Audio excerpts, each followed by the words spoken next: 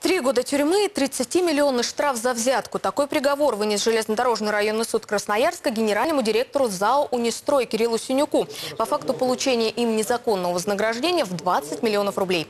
За эти деньги он обещал освободить строительную площадку театра Пушкина и передать документацию для того, чтобы новый подрядчик мог приступить к работам.